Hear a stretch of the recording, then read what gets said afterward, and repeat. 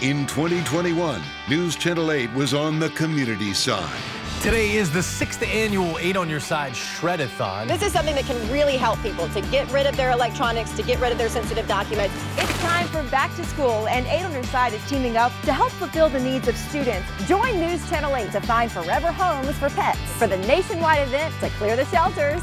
We're pairing up with OneBlood Here. It's been a great partnership, especially how many lives we saved doing it. Supporting important causes. Welcome to the Heart Walk